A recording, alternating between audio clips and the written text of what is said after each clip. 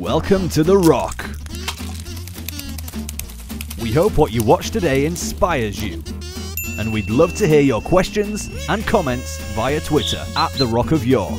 You can also find us on Facebook or contact us through the website at www.rockofyork.co.uk. In the meantime, let's crack on.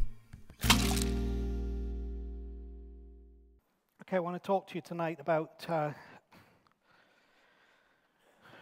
something that is critical, I think, to our, our journey, our quest as we move forward. It's all connected to some things that we've already been talking about. Um, I took three weeks to talk to you about crooked lines um, made straight, straight lines in a crooked world. And uh, Chris connected some other things to that last week, which I thought were very valuable, but it's all connected to building something within us because um, it's one thing to acquire knowledge, it's a very different thing to, to expose practice, to, to hear things and receive things is one thing, but to live them out and be that is, is the more critical thing. Um, who you are is more important than what you know. And, uh, and so I want to continue to, to talk along certain lines that are, that are connected to um, what we talked about with our uh, um, straight lines in a crooked world and showing the fruit of the Spirit, you know, those things that are up there now, fruit of the Spirit, which are also connected in many ways to 1 Corinthians 13 when it says that, that love is and it gives you all the things that are, are closely connected to this. I want to talk to you tonight just for a few minutes about what truly matters. Um, a lot of stuff happens in life, but defining within what happens in life what truly matters is really what um, the Song of Songs or the Solomon is talking about when it talks about wisdom. Wisdom is actually coming to the point where you can decipher within the process of life what truly matters. Because I think it would be true to say that we spend far too much of our time, attention, brain space, uh, emotions, uh, and actions trying to deal with things that, in essence, don't truly matter that much. They're not the things that really make the difference in life, but we expend our energy because we don't understand what it is that, that truly matters. And I want to cross link this with something that I've kept regurgitating to you because it's become very important to me.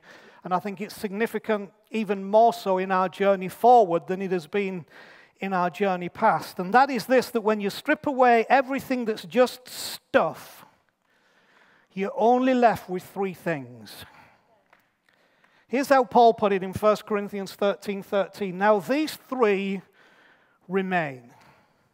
Now, once you use the word remain, it means that stuff has been taken away. Do you get that? Once the word remain is in there, it means when you've taken other stuff away, this is what you're left with. And, uh, and Paul, in all his experience and all that was going on in life, and, and particularly talking to people who have church brains, uh, and, and in those chapters, 1 Corinthians 12, 13, 14, he talks about all kinds of things gifts of the Spirit, prophesying, all kinds of knowledge, and, uh, and, and gifts and ability, and flashing sparks from your fingers, and all that stuff. And he says, All that's wonderful, and all that has a place. But actually, when you strip away everything that's just stuff, and it might be important stuff, we're not saying that stuff is not important, stuff has importance. But when you strip away everything that really is, in essence, just stuff, you're only left with three things. Now, I like that because a lot of people want life simplifying. Well, I'm going to simplify life for you. Amidst all the stuff, only three things truly matter. And those three things are this faith, hope, and love. Now, of course, he goes on to say the greatest of these is love. And the reason he does that is to let you know that, that the way this works is not the way it's written. You don't go to faith and from faith to hope and from hope to love. You find love, and when you find love, you go from love to hope, and when you find hope, you go from hope to faith. And that's why he puts that little comment in there that the greatest of these is love. Now, I believe that these are the core ingredients that drive and produce everything good. And I believe we're all looking to have produced and to produce that which is good. The secret to producing that which is good and dwelling in a place where good is produced is to stop spending so much energy running after stuff and trying to do stuff better and realize that there is a core to this, and the core to this secret of the drive to produce things that are good is faith, hope, and love. And in, in, in reality, we, we look at a lot of subject matters and we consider a lot of things in life, but we probably do too little thinking about faith, we do too little thinking about hope, and we do too little thinking about love. And we are far too able to define things that are not faith and not hope and not love, and can get very fuzzy around the edges when we come to the dimension of faith and of hope and of love, and not really understand what we mean, and therefore be unable to live in those core values that actually are at the core of, of drive and produce of every good thing. Now, uh, when you read the Bible a little bit, some of you should read it a little more. Some people should read it a little less, which sounds a strange thing for a pastor to say. Um, but some people really should because I don't like it when people are so full of Bible that Bible becomes the grenades that they throw at people to prove that they're right and everybody else is wrong. So for some people, it would do them a world of good not to read as much. For, for, for most of you, it would do you no harm to read a little more and know a little more, and probably the same is true of me.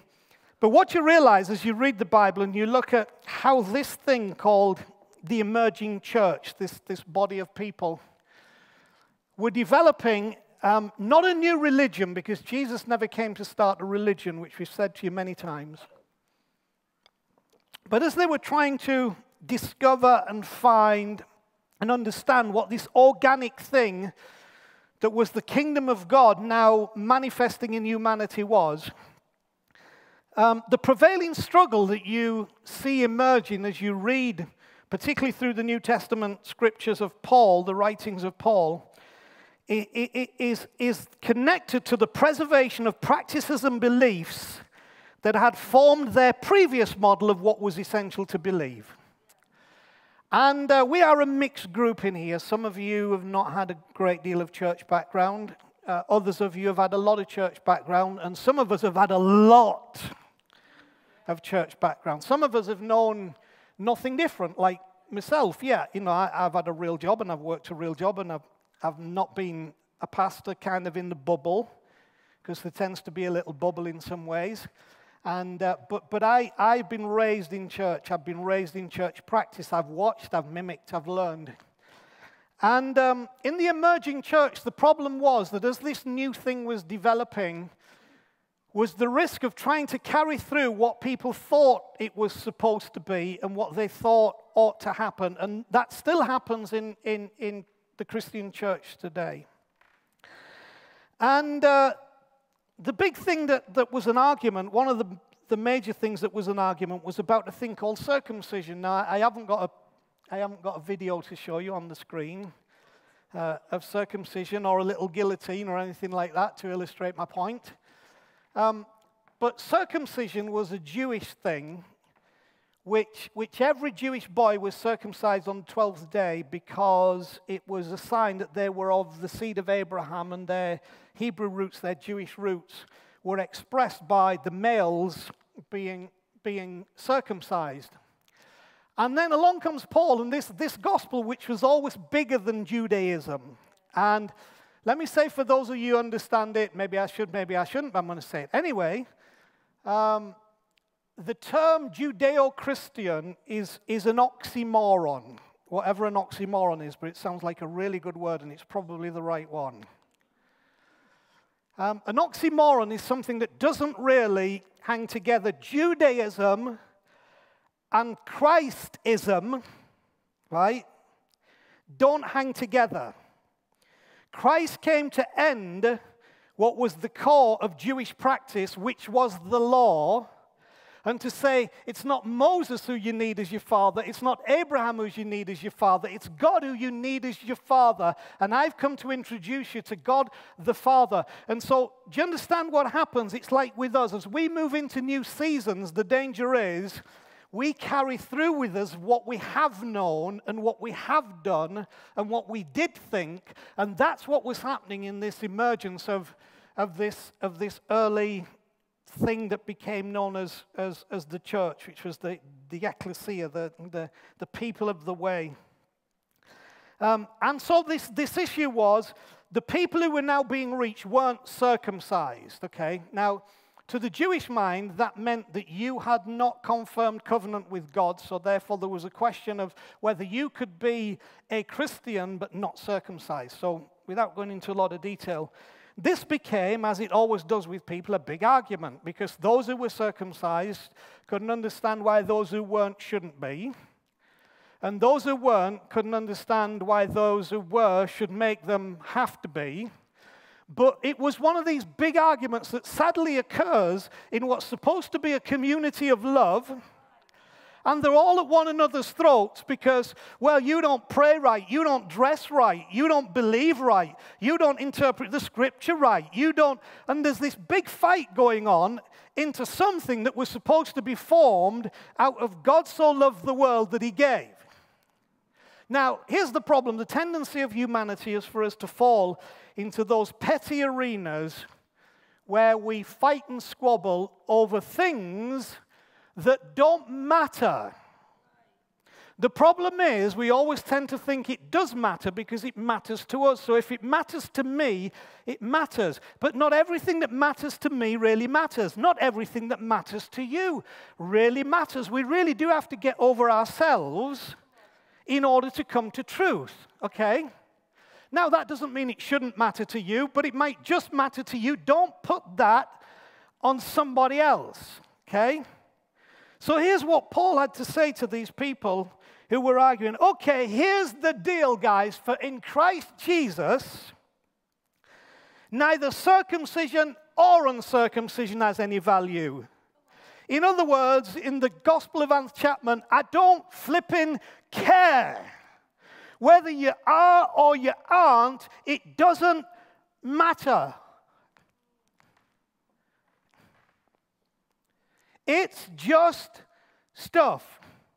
Now, it might be important stuff, and if you think you should be, go ahead and do it. But Paul said one time, but those of you who go ahead and do it are looking down the nose at everybody else. So here's what the Apostle Paul, in his wonderful spirituality, said, and I'll phrase it in modern English instead of King James English. You people who keep insisting that people can't know God unless they're circumcised like you, I hope when you do it, you cut it off. You go all the way, is what Paul said. He, he was getting hot under the collar about this whole thing. Because he's making the same point. They had focused on stuff which had some cultural significance and some personal application, but no value. Okay? He says the only thing that counts, now get this, the only thing that counts is faith expressing itself through love. The only thing that counts is faith expressing itself through love. Now, let, let me just break that down. We have two ingredients there that Paul talks about faith and love. Those are the two elements.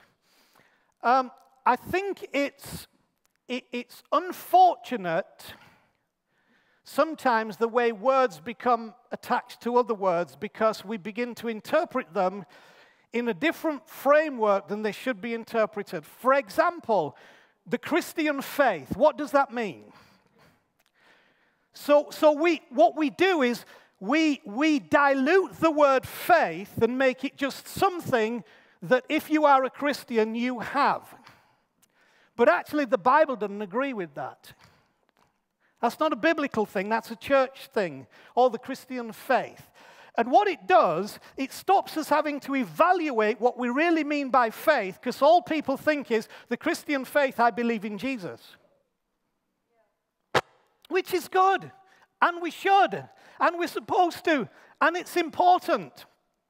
But faith does not mean believing in Jesus, right? For this thing called salvation. I won't go to hell, I'll go to heaven. So we get a conflict because it devalues the term. Now remember, when you strip away everything that's just stuff, these three remain, and one of them is faith. Faith is something that remains. And of course, the other word there, the other element, is love. Faith expressing itself through love. Let me read you, the guys don't have it on the screen, but let me read you the message version of that verse in Galatians 5, verse 6. For in Christ, neither our most conscientious religion nor disregard of religion amounts to anything. It is not your conscientious religion or your disregard of religion that amounts to anything. What matters is something far more interior faith expressed in love. All that counts the only thing that counts, faith expressed in love. So, what I propose to you is that we should then have an understanding of faith which is much more than I belong to the Christian faith. Or I am a Christian and I have faith because I believe in Jesus. It has to be more than just that. Now, I, I propose this, this phrase because I think it helps me. I hope it helps you to, to get in the right direction about understanding this thing called faith. Faith, incidentally, is a journey. Faith, faith is not a noun. Faith is a verb. Okay? That's actually true. Faith is not a noun. You understand what a noun is? A noun is just the name of something like chair or speaker or shoe. And we don't pay a lot of attention because it's just the name of something. But faith is actually a noun. A noun is a doing word. Faith is not something that has a name, it's something that you do. And it only is working when you're doing it. Okay? It's not something you have, it's something you do. It's, it's working when you're using it. So I, I, I use this phrase to try and help push us in a certain direction. The journey of faith, because faith is a journey, it's a verb, it's a doing word. The journey of faith is the embracing of a new reality. The, the, the, whole essence of the Christian faith was the call to people to embrace a new reality, which is why Paul got frustrated when then, in embracing the new reality, they were coloring that and corrupting that with what was an old reality that they then wanted to bring through, that had actually now become a tradition rather than a revelation. Now, always remember that today's revelation is tomorrow's tradition, okay?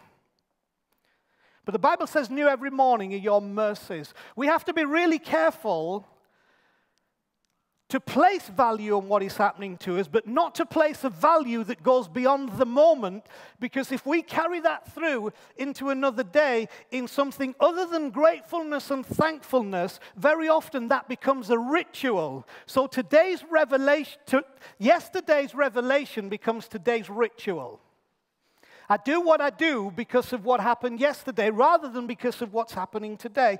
And throughout Christianity, that has been a problem that as each new revelation has come, it then becomes a ritual, and we find ourselves doing things ritualistically. This is how you do it.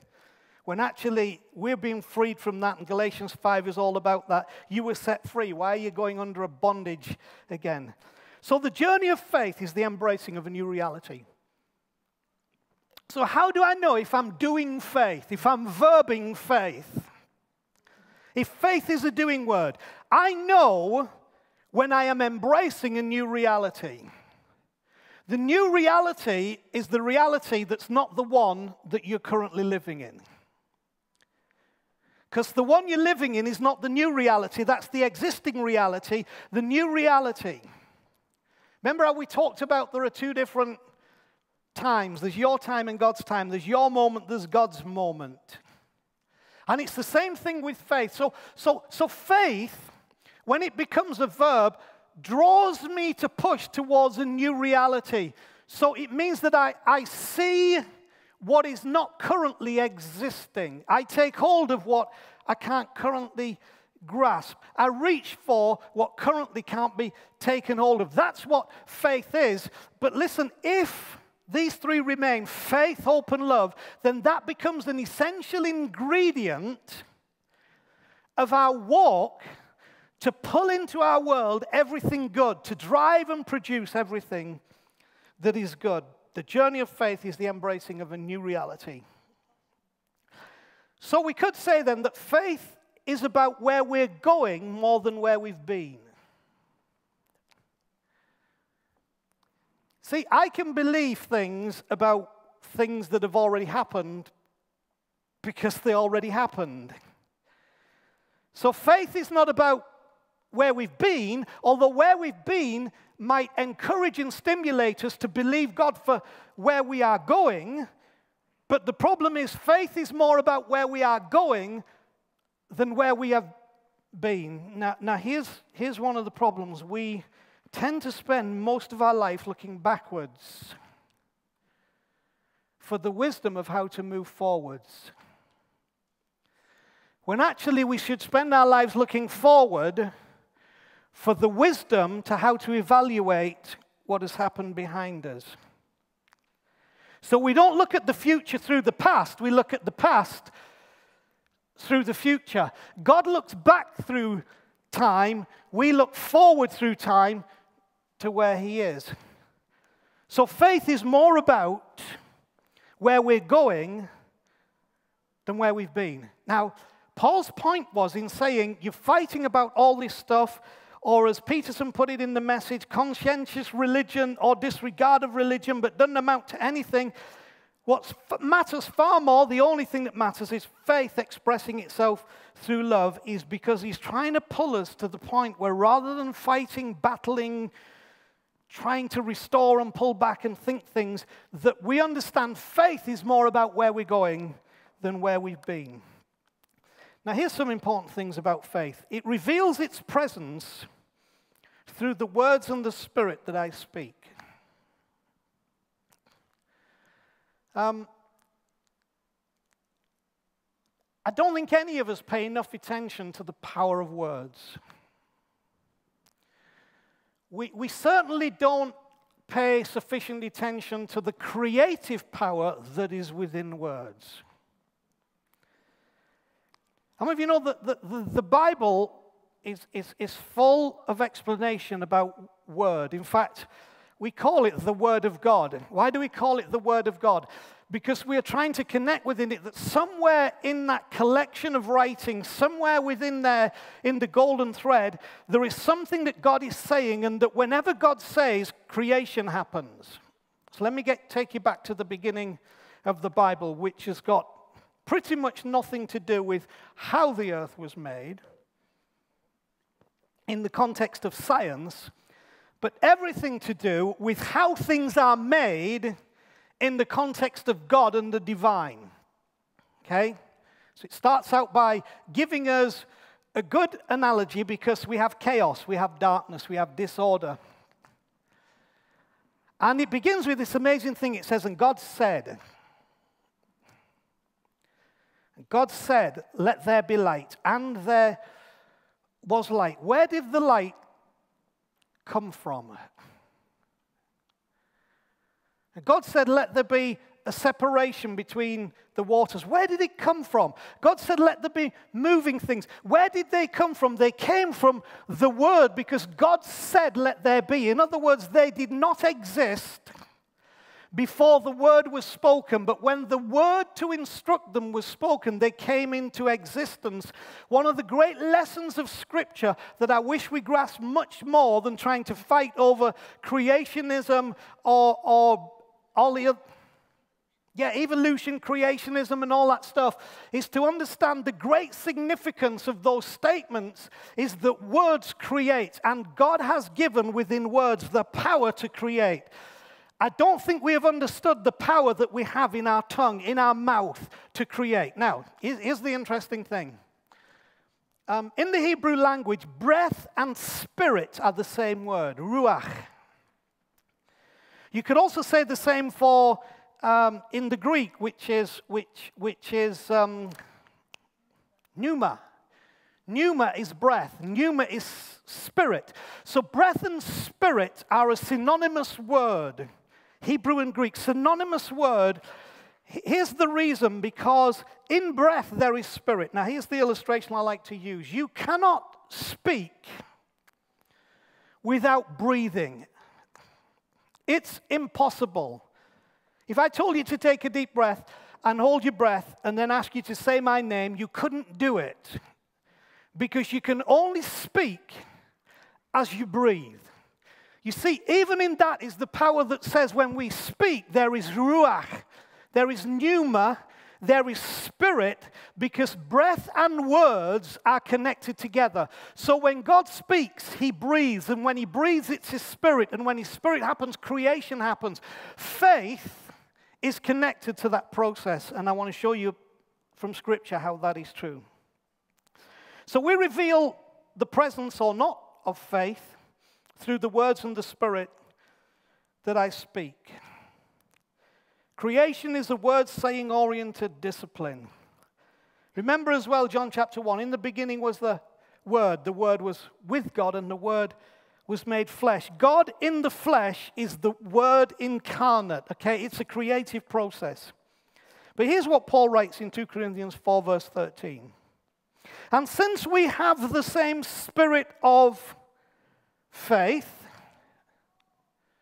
spirit of faith, pneuma of faith, breath of faith, word of faith, since we have the same spirit of faith that Jesus had, according to what is written, listen to what he said I believed, and therefore I spoke.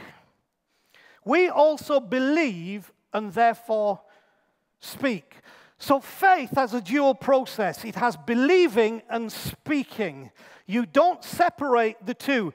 Faith is not a private activity that you have at home. faith is a public activity that we express. I believed, therefore I spoke. Now, what's interesting is that we may try to mask it, but when you really get down to it, most of us speak what we believe.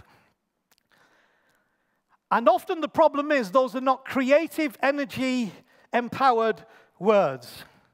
Very often they are neutral or negative words which don't create something good and positive and powerful in our lives. But Paul says if faith is important, which it is, it's more than stuff, and if all that remains and what's important is faith expressing itself through love, that faith means that in that same spirit, according to what is written, I believe, therefore I have spoken. So we believe and we speak. We believe and we speak. Where does our belief come from? Because that's what we're going to speak. And how do we work on that belief?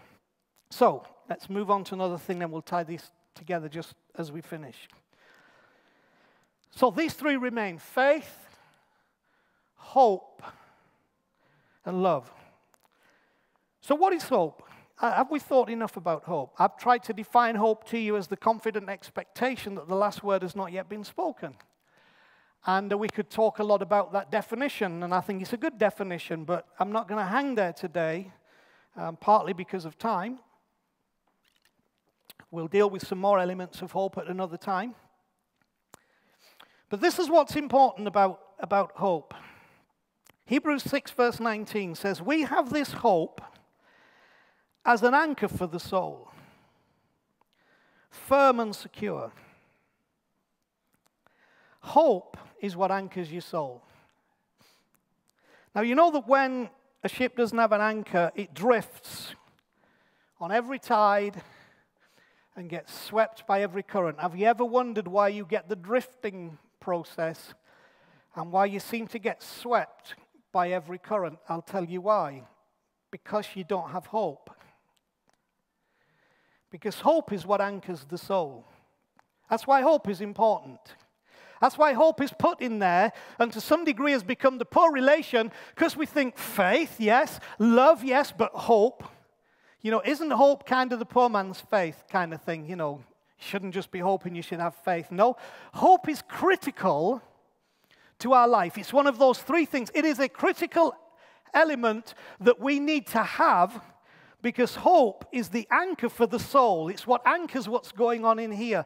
And it has a great deal to do with how you feel and how you respond, is the level of hope that you have. Once you lose hope, according to Hebrews 1, verse 1, which says, Now faith is the substance of things hoped for, and the evidence of things not seen. Faith is the substance of things hoped for. Once you lose hope, according to Hebrews 1, verse 1, faith has no viable material to work with. So here's my point. Often we are trying to be people who, who have faith, but we can't have faith if we don't have hope, because faith has no viable material to work with unless it has hope. Faith is the substance of what? Things hoped for. Faith makes substance of what we hope for. So if we are hopeless, whatever we think faith is, it's probably not.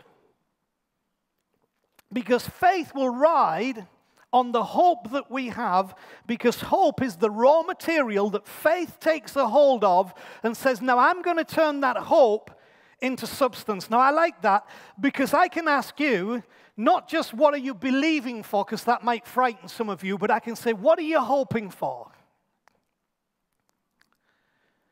And I've expressed to you before there are two kinds of hope. For most of us, you say, hoping I don't finish up in hospital, hope I don't die young, hope I don't get the sack, hope I have enough money to pay the bills. How many of you know that's not really the hope that the Bible's talking about? We made something that's incredibly positive into a negative that our hope as we define it tends to be the the, the, the, the declaration or the confession that we live one step from failure. You know, when you say, I hope I'm not going to die from this, you are declaring, I am one step from failure. When you say, I hope I'll have enough money to pay the bills, you're declaring, I'm one step away from the bailiffs. That's not the kind of hope. In fact, it says about Abraham, it says, Abraham in hope against hope believed. What was he against? The hope that says, I hope this works out. I hope it's going to be okay. Because it says Abraham refused to believe that his body was as good as dead, but embraced the promise of God that said there's something beyond this. Or, in other words, faith to Abraham was the embracing of a new reality beyond where he was currently living. Faith has no viable material to work with without hope. Once hope is lost, faith cannot be present, which is why it's faith, hope, love. But there's also another factor here that in the absence of love, hope has no viable material to work with. Which is another interesting thought to think that the end product of faith is connected to hope but hope is connected to love, and that if hope is the raw material with which faith works, love is the raw material with which hope works. If you don't believe that you are loved, if you don't love yourself, if you don't love others in a relationship, you begin to be hopeless. Isn't it fascinating how the English language has developed that we call somebody who's rubbish at stuff hopeless. Oh, you're hopeless at that. Because we have attached to hopelessness the sense of failure, the sense of, of, of, of self abasement, of putting oneself down. Oh, I'm, we mean by hopeless, I'm a failure, when actually hopeless doesn't mean you're a failure. Hope just means that you've not had hope rise up in you. And the reason hope is not rising up in you is because there is a love deficiency. And the first two love deficiencies are understanding how much God loves you. Don't please, please, please let me free you from the bondage of feeling that God's relationship with you is dependent upon how much you love Him. Nothing could be further from the truth. Nothing. And no matter how much you become able to love God, it will never enhance the love of God to you one little bit. It will not change the love of God. God loves you truly in spite of, and He loves you because of. Now, one of the other damaging statements in, in, in Christian terminology as being God loves you in spite of, which means you're rubbish, you're not up to much, you don't get anything right. You're a pretty pitiful example of humanity, but God loves you in spite of all that. Oh, wonderful. Try and build a relationship like that. Try build a relationship by saying, hey, I love you in spite of who you are, in spite of what you look like. See, here's the wonderful miracle when you understand this in hope God loves me because of who I am. Not because of what I do, but He loves me because of who I am. Because Anth Chapman is precious in God's sight. Eunice Craven is precious in God's sight. God doesn't primarily love Eunice Craven in spite of, He loves Eunice Craven because of. He loves Eunice because she's Eunice. And she's unique and she's made, and God said, I love Eunice Craven. She's amazing. She doesn't always do everything right, right? And that's where the in spite of comes in. The in spite of is about do, not about who. God loves me in spite of what I do, but He loves me because of who I am. Do you understand that? Which is powerful. You look in the mirror and able to say, God loves me because I'm me. And so, this love deficiency begins with understanding how much God loves you and allowing that love to be a reality, not fighting that love, not arguing with the one who loves you, which is not wise. And then, what that does, that allows you to love you a little more. It doesn't mean you love everything about you, and it doesn't mean you love everything that you do, but actually, at the core, you can actually give yourself some value because, listen, you can't love others if you don't love you. Now listen, love your neighbor as what? Love your neighbor as what? So if you don't love yourself, how are you going to love your neighbor? Deficiently. You're going to treat your neighbor like you treat yourself. You're going to believe about your neighbor what you believe about yourself. But when you believe I'm loved by God and He loves me because of who I am, and in spite of what I do, you love your neighbor because of who they are, and in spite of what they do, and the whole thing becomes faith expressing itself through love. I want to free you from a state of hopelessness. Hopelessness is the most horrible thing means you wake up on a morning, you just can't see how things are ever going to work out, how life's going to figure, how things are ever going to progress. How, you know, stuck on the on the on the, the wheel, just here we go again. But hope changes all that. So once you lose sight of love, hope cannot be present. So I want to encourage you tonight not to strive to be a man or a woman of faith but to rest in the love that is yours. And begin there. Begin there. Okay? Begin there. Because when you know you love, what happens? You, you suddenly have hope that things could actually get better. Things might actually change because I'm loved. And, and when you know who loves you, the hope gets even bigger. It's a bit like somebody being reconnected with a parent that they were separated from at birth and realizing now that parent is a billionaire and you've lived in poverty wondering how you would never get you'd ever get your next meal only to find when you find the one that loves you that they're a billionaire and they have everything that could possibly be needed to meet your need. And all of a sudden hope starts to rise in your heart because you realize who your daddy is Listen, when you start realizing truly who your daddy is, hope will rise in your heart. You are not stuck, you are freed. Hope will rise in your heart when you come to this place. So once you lose sight of love, hope cannot be present. But once you get a sight of this love, hope will begin to rise. And when hope begins to rise, guess what? Faith begins to make substance of the things that we hope for. How does it do that? I believed, it is written, I believe, therefore I've spoken. And so we believe and therefore speak. But it's not some picking a Bible verse out and saying, I'm going to believe this and speak this. It comes from the love that produces the hope that's coming from Daddy that then lets the faith get a hold of that, and the faith begins to speak, to breathe, to spirit And we have to get back to understanding that in those words, in that speaking, there is creative power to change things. Just making sense. So let, us let's, let's finish this off. We're, we're done for time. I believe that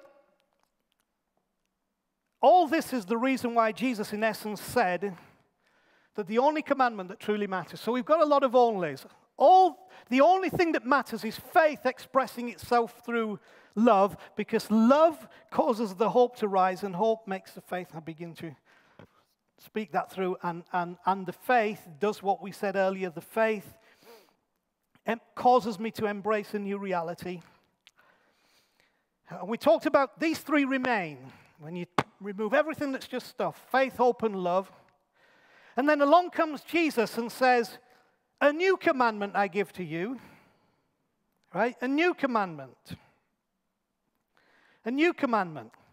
Now, let me just take one step back and then two steps forward to finish. Uh, many people will tell you, which incidentally I absolutely believe is incorrect, that, the, that what we should live by is love the Lord your God with all your heart, mind, and strength, and love your neighbor as yourself. Let me tell you why that's not what we've got to live by, because you can't do it. I dare anybody to say, I have loved the Lord God with all my heart, mind, and strength. You can't do it. It's a do. It's a do. And the wonderful thing, uh, why the gospel is called good news, because it's not a do, right? It's not a do. Why the law is called destructive, because the law is a do. And in the law, it says, Love the Lord your God with all your heart. Do it. You can't. Even the first commandment, you can't do it. Just give it up. Just give it up now. Stop the fight. You can't do it. And then he says, and if you've done that, now love your neighbor as yourself. So, in words some might not like, but some will understand, you are screwed. Which is why Jesus comes along, and people think Jesus was reiterating because he said the greatest commandment, the greatest of the commandments was love the Lord your God with all your heart, mind, strength, love your neighbor as yourself. He was right. The greatest of the commandments, the old law, what you had to do with those. But I want you to notice something. What is the one word that invades all of that that was even the most important thing in the old covenant? Love. Love the Lord your God. Love your neighbor. Love, love, love. And so he comes through and said, Look, even in the law, the greatest thing you can do is love your neighbor, love your neighbor, love your. It's all about love, even in the old covenant. But what he was showing in that old law was you can do your best, but you ain't going to succeed because the love you have has to come from a different criteria than performance. And it's this. So Jesus said, Is the deal, guys? A new commandment I give you. John 13, 13. 34. That you love one another, and people thinking, yeah, we've heard this, but not as you love yourself, but you love one another as I have loved you, and that's how you also love one another. You see, the model he's giving is the one that I have given you, that you have to learn to live in the love that God has for you. He loves you because of and then he loves you because of who you are, but in spite of what you do. Because of who you are, in spite of what you do. Because of who you are, in spite of what you do. Because the doing will surely mess things up. So he's taken that out of the primary role in the event and says, I love you because of who you are. And so Jesus said, This is the new commandment that I give you, that you love one another as I have loved you. So what's the measurement for loving one another? The same way that we are loved by God. You're only going to do that if the love you've experienced brings a hope in you, and that hope produces a faith. And then in faith, you will love. In faith, you will love life. In faith, you will love the world. In faith, you will love in the midst of your circumstances. In faith, you'll love even when the storm is happening because it started in the right place. Now, let me finish by saying this because there's more to build on this. I, I, believe these three elements are key to our future and the quest that we are on. Faith, hope, love is what we're focusing on. Us being people of faith, hope, love, us expressing faith, hope, love, us bringing people to a place of faith, hope, and love, because what people need for the life that they're looking for, for the world to work, is faith, hope, love. Not all the other stuff. that we try to put on people, not all the religious nonsense, not all the do's, but we want people to have some faith come up in their heart. We want people to have a sense of hope when they come in here. I want people to feel loved, not just by us, but by the Father. So let me finish with this John 13, 35, the next verse. By this, all will know that you are my disciples if you have love for one another. What kind of love? The love that springs from the understanding of how I am loved, that then is how I love, is the whole basis for this working. But I want to ask you a question. If by all this, or if by this, the expression of our love for one another, I don't mean Facebook friendship, I don't mean, you know, followers on Twitter.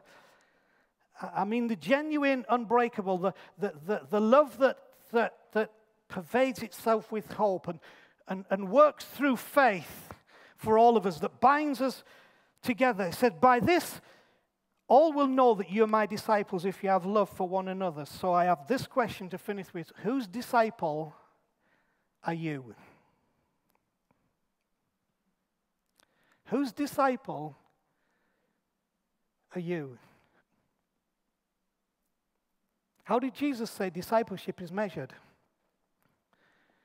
In that you have love one for another. That's how people will know that you are my disciples.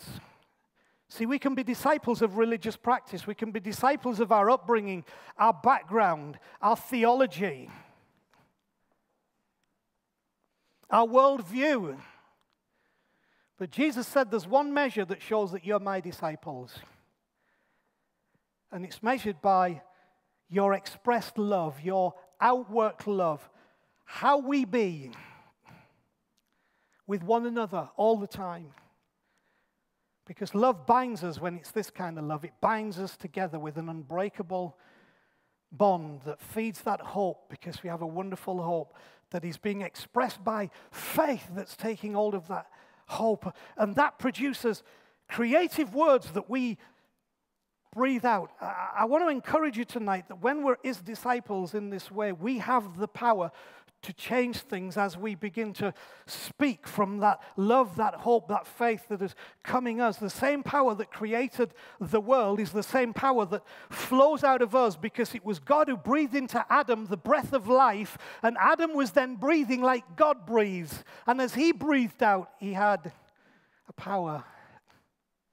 And the kingdom of God is a kingdom of power for that reason. And I want you to live in it. Whose disciple are you? Let me tell you how you work that. You come back to ask the question what is it that truly matters? What truly matters is faith, hope, and love, and the greatest is love.